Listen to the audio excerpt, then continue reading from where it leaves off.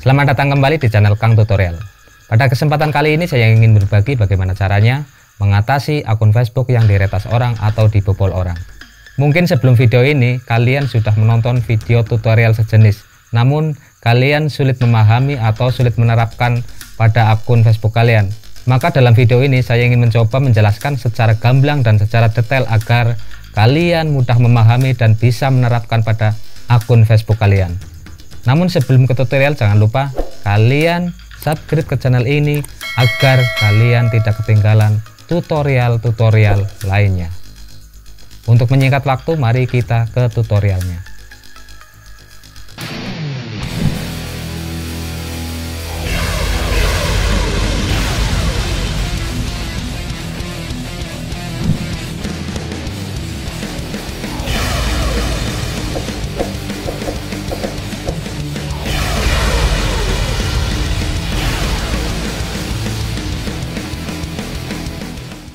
Pertama kita buka saja browser pada smartphone kita. Kita kunjungi Facebook. Kita coba isikan alamat email pada akun kita di sini dan juga password kita, password yang kita ingat. Kemudian klik masuk. Ternyata saya gagal untuk login. Di sini ada pemberitahuan email yang Anda masukkan tidak cocok dengan akun apa pun. Jika kalian mengalami hal seperti itu, berarti email pada akun Facebook kalian sudah diganti atau dihapus oleh pelaku. Langkah selanjutnya adalah kita klik saja cari akun Anda. Kemudian di sini pilih cari berdasarkan nama. Klik cari berdasarkan nama. Kemudian ketikkan nama profil Facebook kalian kita contohkan. Maka di sini akan muncul profil Facebook dengan nama tersebut. Kita cari profil yang sesuai dengan akun Facebook kita. Jika ternyata di sini tidak ada berarti klik saja saya tidak ada dalam daftar ini. Kemudian akan muncul halaman ini. Untuk membantu kami menemukan akun Anda masukkan nama lengkap salah satu teman. Kita masukkan salah satu teman pada Facebook kita. Teman yang terdaftar pada pertemanan Facebook kita. Kita masukkan di sini. Kita contohkan. Nama saya kemudian kita klik cari. Kemudian ada halaman pencarian Anda tidak menemukan hasil. Coba lagi dengan informasi yang lain. Jika kalian juga mengalami hal seperti ini berarti akun kalian sudah dinonaktifkan oleh pelaku maka langkah selanjutnya kita gunakan browser lain untuk mencari profil kita menggunakan pencarian Google. Namun browser tersebut harus dalam keadaan login dengan akun Facebook. Bisa akun kalian yang satunya atau akun teman kalian atau akun saudara kalian. Kita contohkan seperti ini. Kita buka browser Chrome saja. Kita ketikkan nama profil kita di sini untuk pencarian di Google. Jika sudah ada nama-nama profil yang sesuai dengan nama kita klik saja. Siapa tahu ada yang cocok. Kita klik satu persatu. Ternyata ini bukan. Kita cari yang lain. Coba kita klik yang ini. Ternyata ini juga bukan. Kita kembali lagi. Kita buka yang ini coba siapa tahu cocok. Ternyata juga bukan. Setelah kita cari di Google ternyata akun saya tidak ditemukan. Berarti akun Facebook kita sudah tidak ada dalam daftar indeks Google. Untuk langkah selanjutnya bagaimana?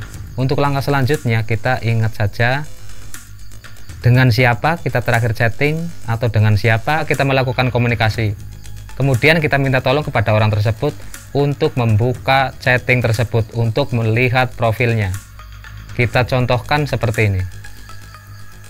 Kita minta tolong pada teman kita untuk membuka perpesanan tersebut. Ternyata ini masih ada.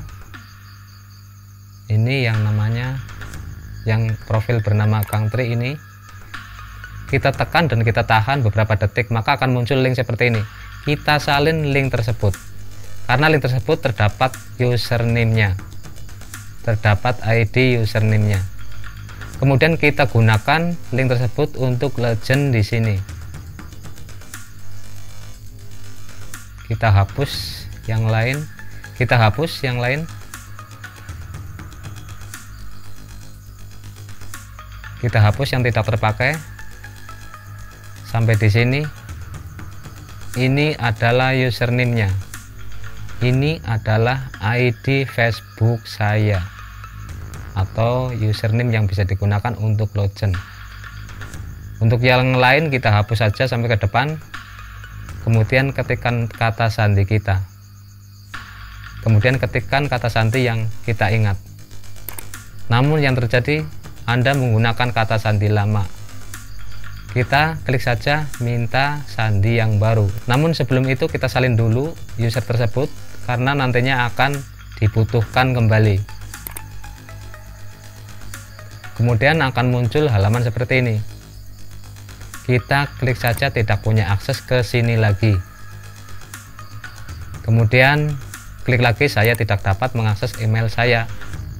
Maka akan muncul halaman tidak ada akses email. Kami minta maaf Anda mengalami kesulitan memulihkan alamat email Anda. Sayangnya ini berarti kami tidak dapat memverifikasi siapa Anda atau memberikan Anda akses ke akun Facebook yang Anda coba masuki. Jika kalian mengalami seperti ini, kalian klik saja tulisan pelajari selengkapnya. Kita klik pelajari selengkapnya. Maka ada akan ada halaman seperti ini. Kita di sini tinggal cari permasalahannya. Jika permasalahannya tidak ada, kita ketikkan di sini saja. Kita contohkan di retas. Maka akan muncul artikel seperti ini. Kita klik saja, kita baca, pahami. Kemudian kita klik linknya. Jika merasa bahwa akun Anda diambil alih oleh orang lain, kami bisa membantu. Kita klik saja mengamankannya tulisan ini sepertinya akun Facebook saya diretas atau seseorang telah menggunakannya tanpa izin.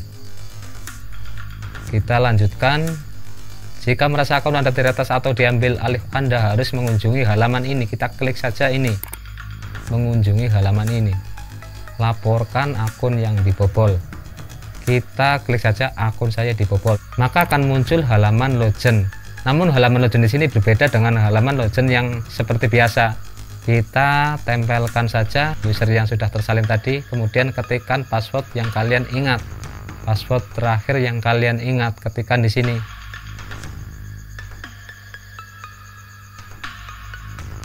Kita klik masuk, kemudian kita pilih saja yang ini, orang lain masuk ke akun saya tanpa izin saya. Mari amankan akun Anda. Kita klik saja mulai. Kita tunggu sebentar. Kemudian akan ada halaman pertinjauan. Kalian tinjau saja aktivitas Facebook kalian. Jika ada yang mencurigakan tinggal dihapus saja. Kita klik saja selesai. Maka kalian akan diarahkan ke beranda Facebook kalian dan berhasil mengamankan akun Facebook kalian yang diretas atau dibobol orang. Sekian tutorial dari saya, mudah-mudahan bisa membantu permasalahan akun Facebook kalian. Jangan lupa kalian subscribe ke channel ini agar kalian tidak ketinggalan tutorial-tutorial yang lain.